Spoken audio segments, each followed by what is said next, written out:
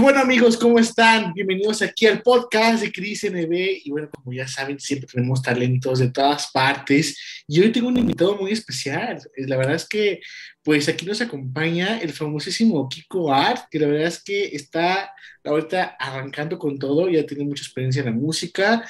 Y recientemente pues, pudimos escuchar su último lanzamiento, que es That Song Make Me Feel Better. No sé si lo pronuncié bien, Kiko, pero te voy a dar la bienvenida. ¿Cómo va todo? Hola, ¿qué tal? Muchísimas gracias por la invitación. Y pues sí, como lo comentas, ¿no? ahorita estamos precisamente en la promoción de, de Sad Feel Better, que es el, el último disco que saqué, uh, ahora sí, la, la, última producción. En realidad, mi primera producción solista y la última que en la que está trabajando ahorita. Claro, sí, es, es, para saber que tú ya te, tienes mucho tiempo ya de experiencia en este campus, en tu propio estudio, que cuenta con más de 10 años de experiencia que tiene este estudio, pero este debut como solitario, pues la verdad, pues te abre nuevos caminos y nuevas ventajas. Platícanos un poquito de esto, de esta, de esta canción, de, todo esto, lo que planeas hacer en adelante a partir de este proyecto, que pues lo llevas andando con, ahora sí que tiraste la ventana, ¿no? Por la casa, entonces como que ¿Cómo va todo? O sea, platícanos así el proceso, cómo inspiraste a crear esto, o sea, todo lo que lleva el proceso creativo de, de esto. Pues mira, Sad Songs en realidad, ahora sí que como, como lo dice, ¿no? El, el, título, las, las canciones tristes me ponen feliz, ¿no? Me ponen mejor. Este, en realidad creo que fue un proceso en el cual uh, empezó desde hace tiempo atrás. Eh, cuando empieza el encierro de la pandemia, pues dije, creo que ya es momento de volverlo a retomar, ¿no? Tenía mucho tiempo, entonces, pues bueno, me quedé encerrado en el estudio un buen tiempo y, este, y empecé precisamente con Sad Songs. Es un disco, uh, como lo dices, son canciones tristes, canciones melancólicas, eh, que a cualquier persona nos puede pasar, ¿no? Son vivencias, yo creo que, que no están alejadas de, de nadie y es, mm, no sé, siento que muchas veces esa parte de la canción triste nos deja como una enseñanza nos deja que pensar en algo, ¿no? A comparación de una canción feliz, que siempre es así como de, oh, está padrísima, y después así como, ah, ya se acabó, quién sabe qué más pasó, ¿no? Y la canción triste o, melancólica nos deja eso, ¿no? Como de, ah, ¿qué hubiera pasado? Sí, o qué pasará si puedo irme por acá o por este lado, ¿no? Y de ahí nace precisamente Sad Songs, Make Me Feel Better, y pues dentro del proceso creativo, ahora sí que me quise olvidar de todo el mundo fue un proceso en el cual dije, va, quiero hacerlo yo solito, ¿no? Y, este, y pues bueno, ahí está el resultado. Oye, pues muchas felicidades porque se ve que hay empeño en las canciones. Fíjate que, claro, obvio que antes pues hay que saber todo lo que pasa sobre el artista y eso. Fíjate que la canción In the Night y Silencio Eterno que forma parte de este, de este, bueno, no sé si es este pequeño álbum o EP, ¿cómo lo llamas tú actualmente? Porque a veces la gente me dice es un EP, es un álbum, y a veces me confundo eso, tú que sabes de esto, nos puedes aclarar, pero bueno, son las que más a mí me agradaron esto, todas son muy padres, pero pues te confieso, ¿no? O sea, me gustó, pero cuéntanos un poquito si esto es bueno, fue para ti fácil o difícil? Porque mucha gente piensa que pues sacar una canción es como agarrar un Pro Tools y sacar ritmo y ya se acabó la canción, ¿no? Y quiero que nos cuentes tú para ti qué tanto esfuerzo se pone en una canción y qué tanto debe uno aprender o saber para, pues, para crear y hacer lo que haces. Pues mira, uh, agarraste, ahora sí que te gustaron dos de las canciones que, que dentro del proceso fue bastante complicado, ¿no? Silencio Eterno fue precisamente una, una canción que para mí fue muy complicada. Eh, es la primera canción que escribo en toda mi vida en español. Escribir en español para mí es muy complicado. De hecho, yo estaba muy peleado con las letras, para empezar, ¿no? Como guitarrista, yo en realidad soy guitarrista y este, estaba muy peleado con, con, con las letras, ¿no? Hasta con los cantantes. Siempre, siempre bromeaba en que era así como de, ah, ustedes me hacen estorbo para música, ¿no? Este, eh, no sé, me, quitan espacio para los riffs de las guitarras, ¿no? En fin, era, era broma. Este, y ahora que empiezo precisamente con esto fue porque me invitan a, a, un, a un, curso, un diplomado, no sé cómo llamarlo, este, un workshop con, con Loli Molina. Y, este, y dije, va, me late, quiero empezar a, a, escribir en español también. Entonces, este, Silencio Eterno fue una de las primeras canciones que, que escribí en español y la verdad es que sí costó trabajo tenía la música, pero encontrar las palabras fue bastante difícil, ¿no? In the Night fue la segunda canción que, que este, compuse para Sad Songs Make Me Feel Better. La primerita que, que, salió fue Sometimes, después me fui con In the Night. Y, este, y vaya, así son, eh, fueron vivencias ahí medias, medias locas en estos días de encierro, en los pasados días de encierro. Y, este, y pues nada, fue lo que, lo que estuve ahí escribiendo, ¿no? Sí fue difícil en algunos este, momentos de estar escribiendo. Todo este proceso, había, había días en los cuales decía, no me gusta nada de lo que estoy haciendo. Entonces, no era como de, voy a archivarlas o voy a guardar estos, estas canciones. O, no, era así como, no me gustan y se borraban. O sea, sí eran así cosas bien extremas, ¿no? Al momento de, de estar este, componiendo esto está cañón esto, o sea, la verdad es que para la gente que se dedica a esto, a lo creativo y esto, es muy difícil que a veces uno le guste completamente lo que hace, ¿sabes? Porque sabemos que lo hacemos y luego, no, es que yo me lo imaginaba mejor, yo me lo imaginaba, así, no, no pasa en músicos, yo me acuerdo que tengo un buen amigo que es director de, de cine y cuando se estrenaba sus documentales nunca estaba en la sala porque no le parecía y se salía y cuando se acababa el documental entraba y escuchaba los aplausos y eso, pero no estaba conforme, ¿sabes?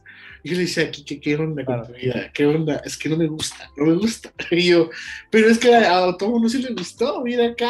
Todo. Pero así pasa, ¿no? Con unos dueños de sus propias cosas, ve malos efectos que la gente a lo mejor ve las cosas no, no lo nota o tú conoces que no es la misma sensación con la que tú te inspiraste y sale otra cosa. Al final, pues yo creo que así pasa. Yo, a la gente que se dedica a escribir canciones o componer, una vez me dijo alguien, este, ¿sabes qué? Escribo esta letra de la canción, la guardo 30 días, si en 30 días la saco y me gusta, que sí que funcionó, si ya no me gusta, entonces hay que trabajar otra vez en esa letra, en esas cosas. Yo te entiendo en esa parte que es muy difícil poderlos complacer a uno mismo, porque nos exigimos mucho, aunque no lo crean, la gente que se dedica a esto con pasión y eso, la exigencia es tan nivel así que dices, hay que eliminar, no me gustó y sabes qué, no me convence.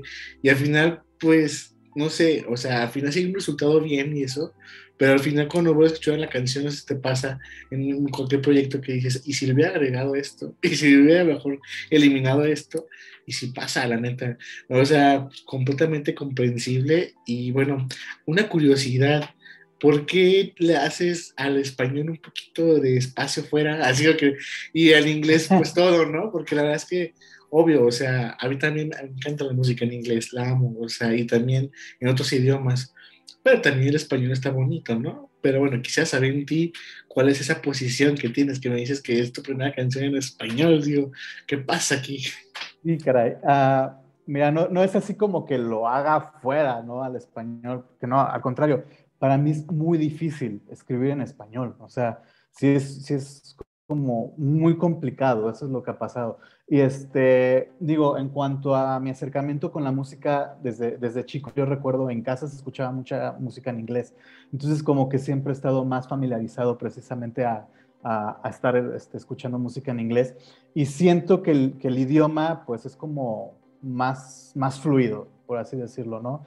Que de hecho estoy totalmente de acuerdo, el español es mucho más rico, me encanta más el español, ¿no? Pero para esta onda de, de, escribir sí es así súper complicado. Pero este, digo, también dentro de lo que hay ahorita, dentro de mis planes es precisamente poder estar haciendo cosas más en español, ¿no? ya me animé, que fue como que la primera parte, ¿no? Que fue así como, ok, me voy a lanzar. Aparte, como comentabas ahorita, la autocrítica está bien cañona. O sea, cuando saco las primeras cosas en español, la verdad es que muchas cosas, como te comenté, se fueron a la basura, ¿no?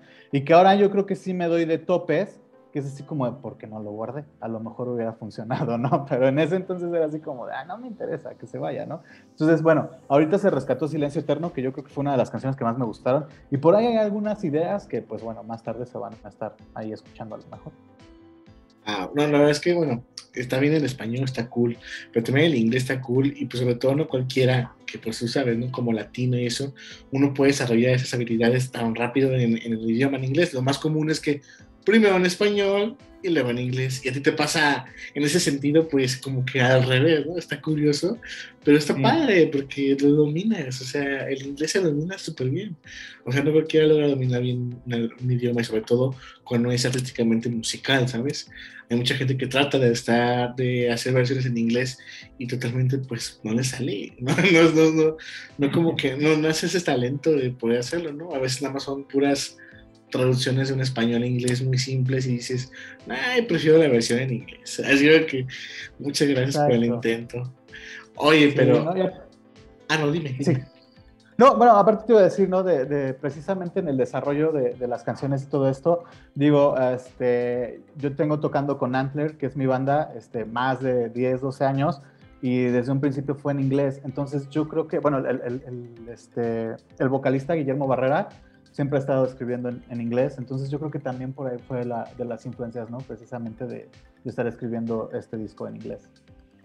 Lo más padre para que la gente que nos escuche es que tú también, o sea, tienes todo ahí, un estudio para poder jugar a lo que quieras. o sea, no cualquiera tiene un estudio para mezclar y todas las cosas, porque he tenido tres con sus cantantes y que me dicen, no, pues lo llevé a un estudio a mezclar, ¿no? Ya llevé esto, pero tú cuentas con todos los juguetitos, como dicen, para poder hacer y deshacer. Y eso está padre, ¿no? O sea, que tengas esas herramientas a tu alcance y sobre todo el dominio de esto para poder así que ser tu, tu propia fuente de poder, ¿no? Y así tú poder manipular tu, a tu gusto.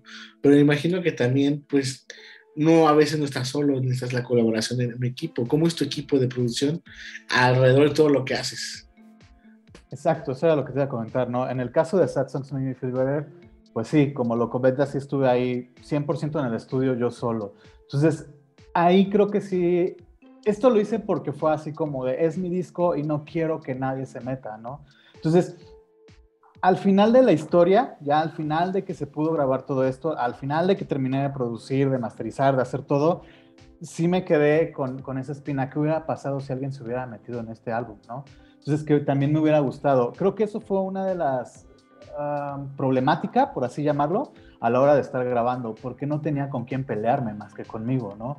No tenía ese, ese feedback de ideas más que conmigo, y entonces era muchas veces que un Kiko me decía así como de, sí, seguro, está funcionando muy bien, pero este de acá me estaba diciendo, no, no vas por un buen camino, ¿no? Entonces era donde entraba en mucho conflicto y, este, y sí, o sea, como experiencia fue muy padre este, estarlo haciendo yo solo, pero creo que para la próxima sí voy a tener que que alguien me produzca, ¿no? Porque sí está muy difícil producirte a ti mismo. Sí, hombre. como, como lo dices, ¿no? Como un trabajo este, externo, me encanta. He producido muchísimas bandas y, este, y me encanta trabajar con ellas, o sea, sí es tener mucha retroalimentación de, con las personas con las que estás trabajando, o es más, dentro de mis otros proyectos también con las personas con las que trabajo, está padrísimo, porque sí llegamos como a cosas muy, muy padres, a lo mejor cosas que nunca se me hubieran ocurrido a mí. Y en este caso, en, el de Sad Songs sí es así como de, híjole, ¿qué hubiera pasado? Ya después de todo esto, todavía escucho el disco en estos días y es así como de, ah, creo que hubiera hecho mejor esto, ¿no? Pero ya no está para arrepentirse no. Creo que estoy muy satisfecho con el material, como se lanzó, pero pues bueno, a lo mejor para los que sí va a haber algunos cambios muy buenos.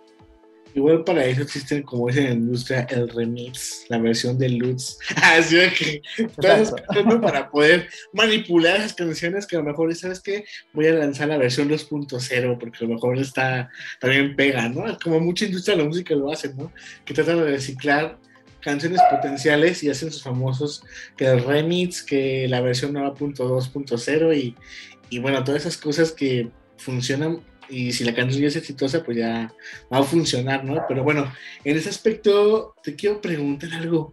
El origen de Kiko Art, ¿de dónde nace esta, ahora sí que, eh, nombre, este, ahora sí, seudónimo?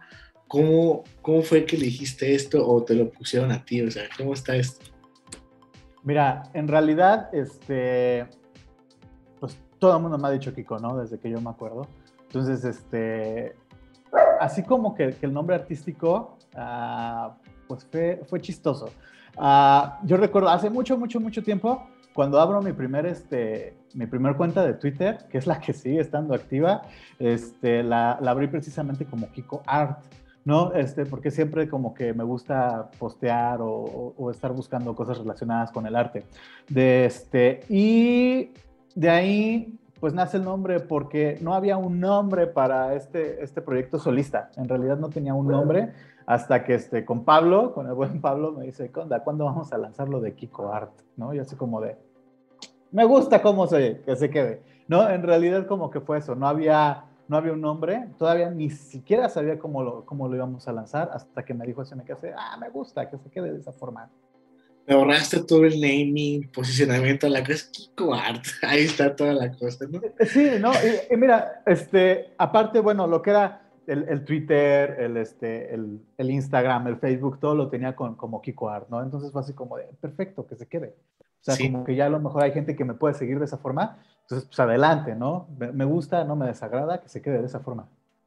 Oye, pues está bien. O sea, lo yo pregunto porque sí tiene relación con tu nombre, Enrique, Kiko, Kike. O sea, como que digo, a lo mejor jugaron con las palabras, no sé, pero bueno, ya que nos cuentas la historia, pues está padrísimo, la verdad. Bueno, en este aspecto, pues también te quiero preguntar, fíjate que, pues ahorita que hablas, que te gusta el arte y eso, la música, ¿cómo fue que decidiste dedicarte a esto? O sea, ¿de dónde vino la idea? Porque sabes que el elegir esta, ahora sí que esta carrera profesional, no sé si conlleva muchas cosas, ¿no? Porque también tiene su tiempo y, a veces la entrega es completa. Mucha gente a veces la hace por hobby, otras por, pues nada más una vez al año por pasión o por diversión, y otros porque la verdad, pues de verdad viven de eso y necesitan destacar y, y pues sí adelante, ¿no? Con lo que les gusta, porque al final cuando algo te gusta es en que no trabajas, solamente lo disfrutas.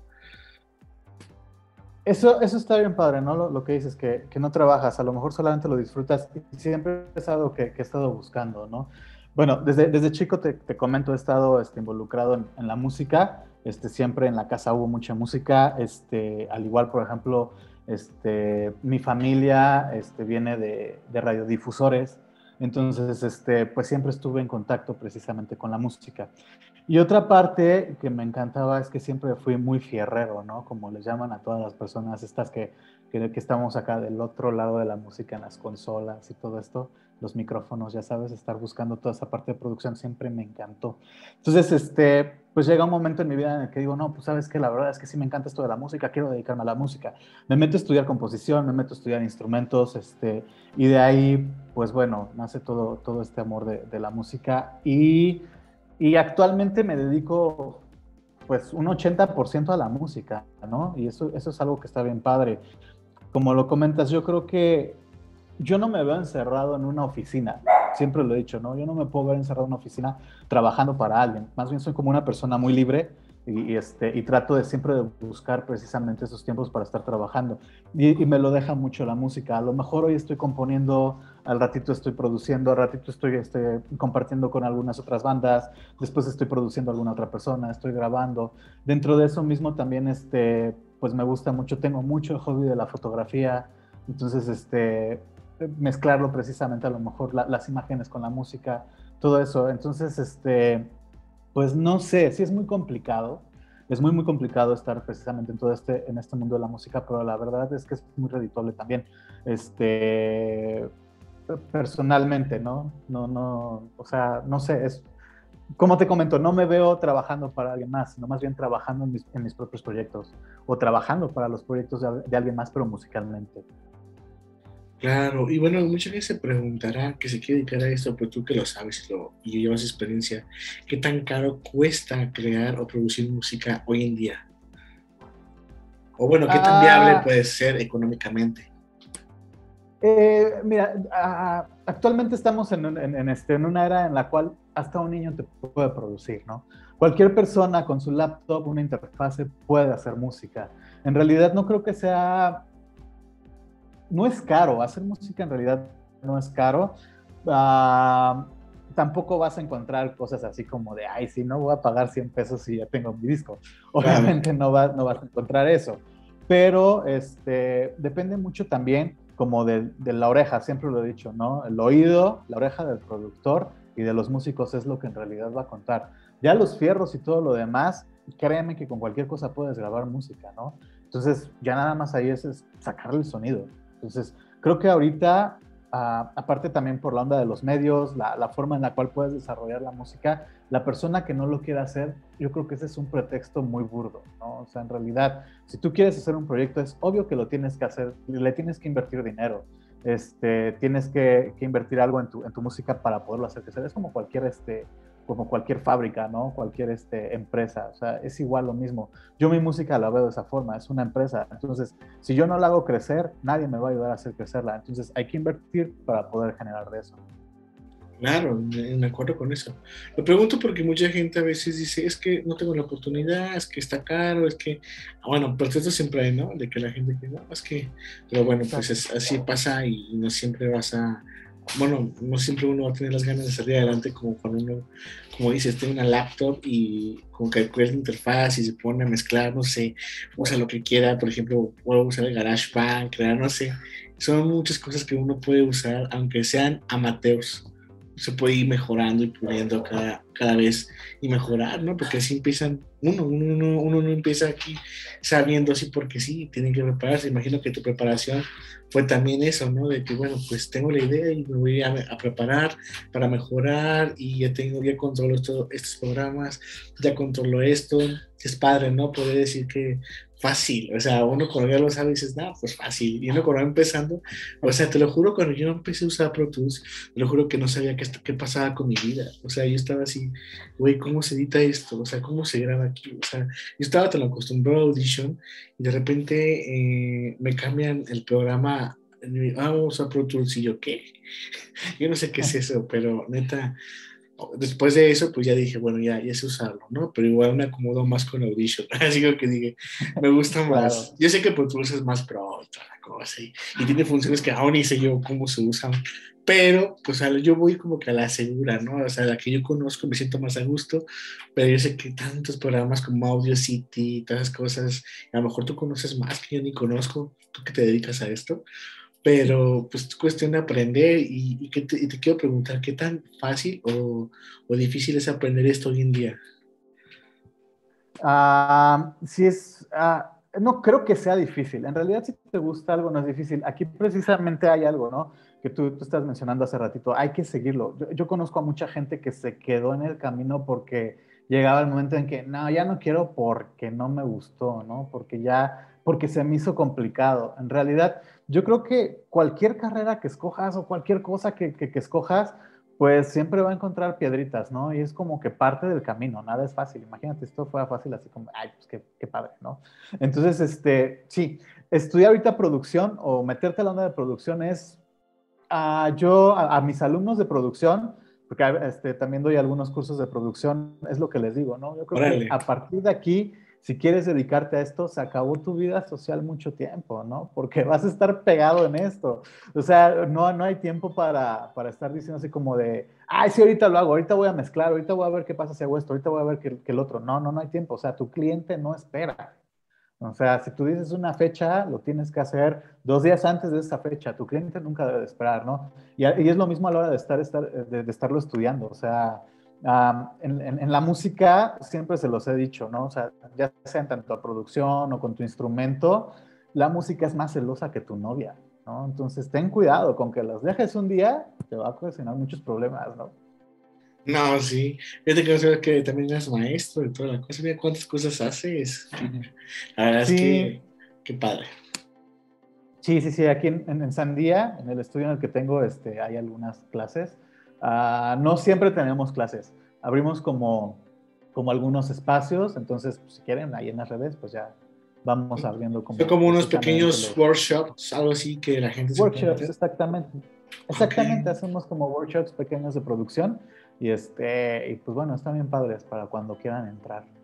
Oye, ¿y dónde están ubicados? A ver, platícanos de dónde eres, o sea, geográficamente para la gente que, que, se anime y se aviente esto, porque la verdad, pues, está padrísimo esto, ¿no? Que la gente, pues, pregunte y, oye, ¿cuándo es un workshop y quiere aprender?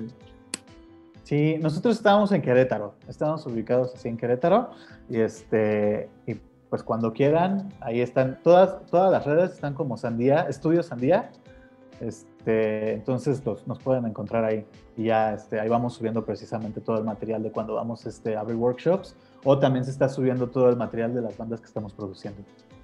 igual si alguien quiere, pues ahora sí que llevar su, su música a mezclar o a producir, también pueden ir contigo directamente a eso, ¿no? Sí, sí, de hecho aquí en el estudio este, tenemos todo para grabarlos, desde el cuarto acústico, podemos capturar el audio, o este, si tú, ahorita por ejemplo, con esta onda de, la pandemia, mucha gente empezó a armar sus, sus home studios, entonces lo que nosotros hacemos es precisamente recopilamos todos sus, sus este, capturas de audios que tengan y nosotros nos dedicamos ahora sí que al, al trabajo rudo, ¿no? A toda la mezcla y al máster del disco. El máster, ¿no? Esas cosas son del diablo. Ay, sí, no es cierto. Ah, está bien. Sí, bueno, tú te dedicas más de lleno a esto, yo nada más lo vi de, de así como que de pasadita, ¿no? Porque mi fuerte no es esto, mi, mi, pasión es el videográfico, ¿no?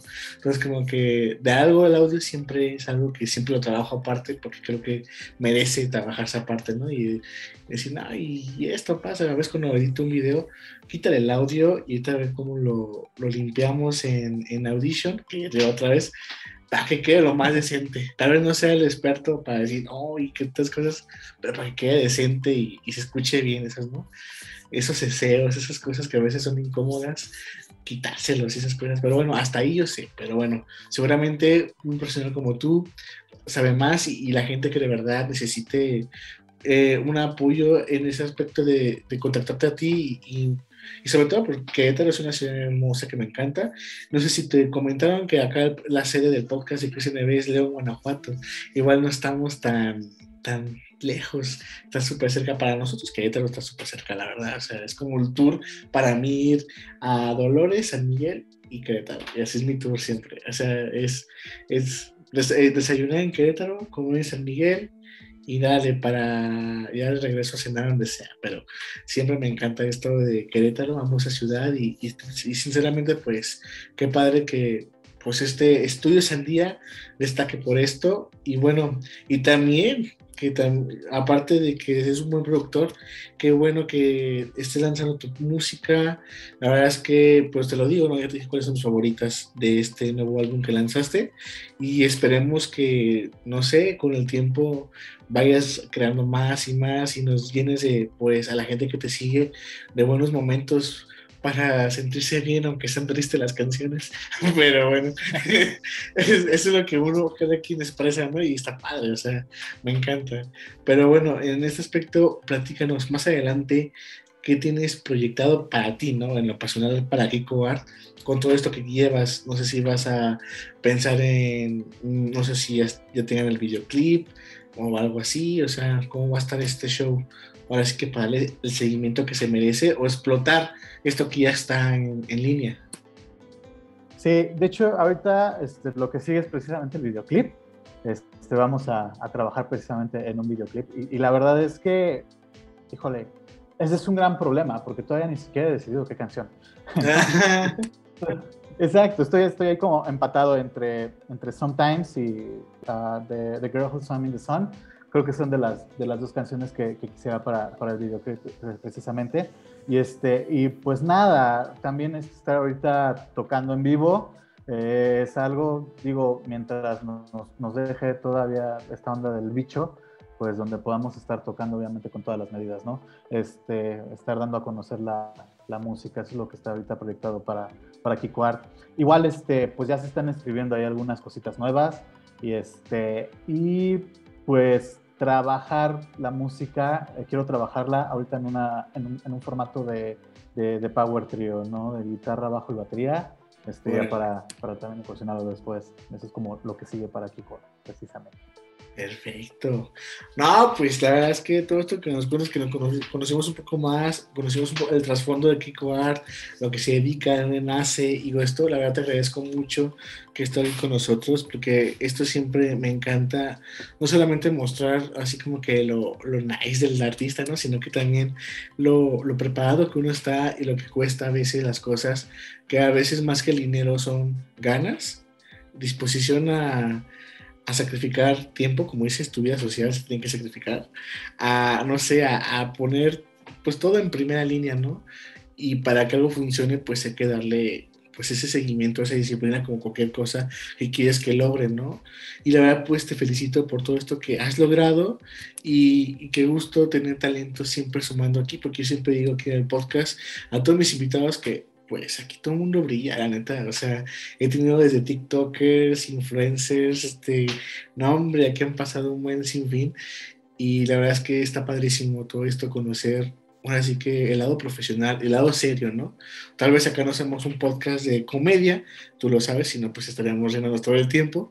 Pero más que eso es para que la gente tenga esa intuición o esa inspiración de que pues la gente lo vive, o sea, más allá de, de que podemos ver la proyección escénica en las redes y dices, ¿quién será? Y, ay, pues debe ser artista y, y ni, ni, siquiera tienen la idea de cuánto cuesta, ahora sí que poner una canción en Spotify o, o, sacar una canción, pues una canción que no es como, como dicen, no son enchiladas, o sea, es todo un proceso que la verdad, caray, lleva tiempo y a veces muchos años, quizás un mes, depende, ¿no? De qué, de qué tanto arranque esta inspiración o estas, o estas ganas de sacar ahora sí que todo, pero bueno, en ese aspecto, pues felicidades, Kiko, y la verdad es que, pues nada, eh, antes de despedirnos y esto, me gustaría que la gente que se interesara, eh, o sí que en seguir tu trabajo, tu material, nos dijeras cómo te podemos encontrar en las redes sociales para que se echen un vistazo y ahí se echen todo el chisme que todos los días publicas, algo así, y pues vayan descubriéndote más cada día, ¿no?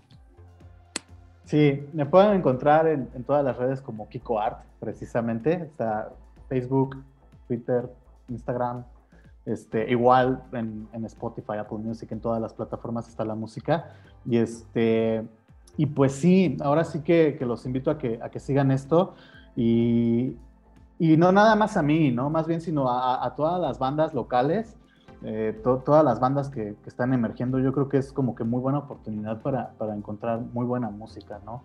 Y no solamente en la música también, sino en cualquier tipo de arte estar este, este, buscando a, a, las personas, ahora sí que de, de, nuestra localidad, ¿no? Empezarlos a apoyar. Creo que es momento de, de hacerlo y, este, y pues no dejarlos morir en el intento, ¿no? Y a, toda, la, toda la, la, banda que se dedica a esto, pues que tampoco se queden así como en el qué pasaría si hubiera hecho, ¿no? Al contrario, o sea, yo creo que hay que darle.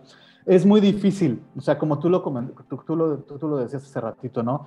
Hay un trasfondo en todo lo que uno, la verdad es que sí es muy complicado, hay, este, hay dinero invertido, hay este, mucho tiempo invertido, yo creo que es lo más valioso aparte del dinero, ¿no? En lugar del dinero pues va y viene, pero todo tu tiempo se queda ahí invertido y, este, y a lo mejor mucha, mucha gente es así como de, ay, pues es que te dedicas a hacer música, qué divertido, nada más te pones en un escenario y te diviertes, pero lo que nunca se han dado cuenta es todo lo que está atrás, ¿no?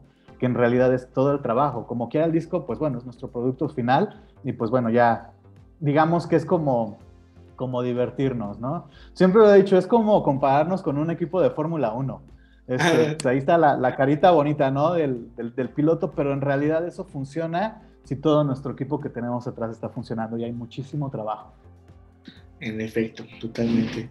Y bueno, como ya sabes, aquí siempre, este, pues es bienvenido al podcast cuando quieras regresar. Este, igual, si no Gracias. quieres hablar de otra cosa, adelante. La verdad es que eh, el primer encuentro siempre aquí con mis invitados es eso, ¿no? Poder destacar lo mejor que hacen. Y creo que, pues, hoy destacamos lo mejor de Kiko Art. Y te agradezco mucho, pues, tu tiempo, en primer lugar tu disposición, tu buena vibra y, bueno, pues esperemos y ojalá te decidas pronto por qué single va a ser el video, porque me imagino que será muy padre, pues el que, el que sea, la neta, la verdad, ya tú, tú, dirás, ¿no? Porque también es otro show hacer todo un videoclip, pero bueno, eso es otra harina, otro costal, y tal vez un día hablemos de eso, pero mientras tanto, hoy nos quedamos con la música, ¿vale? Entonces, pues ya ves, te mandamos aquí un abrazo de León, Guanajuato, y espero que todo esté padre si en Querétaro, a ver si pronto nos vemos, y bueno, cualquier cosa, Kiko, aquí andamos siempre conectados, y nada, muchas gracias, y bueno, también me gustaría que te despidieras de la audiencia, para cerrar este podcast, que la verdad es que, pues, más que nada, pues, siempre apoyando cosas nuevas y, pues, adelante, ¿no? No, pues muchas gracias más bien a, ustedes por su tiempo y, este, y por la invitación. Y pues, bueno, a toda la gente, como les dije hace ratito, ¿no? Creo que es momento de empezar a escuchar música nueva, no nada más mía, sino de todo el mundo, ¿no? Yo creo que hay que, hay que empezar a, a escuchar todo ese, ese tipo de música emergente y, y, la verdad es que se van a encontrar unas sorpresas bien lindas porque hay música muy padre que se está produciendo actualmente. Totalmente de acuerdo. Y bueno, amigos, esto fue el podcast de Crisis NB. Y recuerden, aquí todo el mundo brilla y no hay tal crisis. Y nos vemos en otro episodio, porque ya saben que aquí siempre la fiesta sigue. Así que hasta luego, Kiko. Muchas gracias.